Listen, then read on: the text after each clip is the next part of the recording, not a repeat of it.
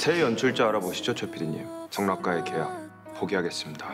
최 기사 사표 그 처리해 새로 일할 사람도 찾아보고. 치킨, 삼겹살, 등심 중에 뭐가 취향이에요? 연희 얘기 꼭 무대에서 보게 해주세요. 만나고 다닌다는 여자애가 정리 안 돼 그래?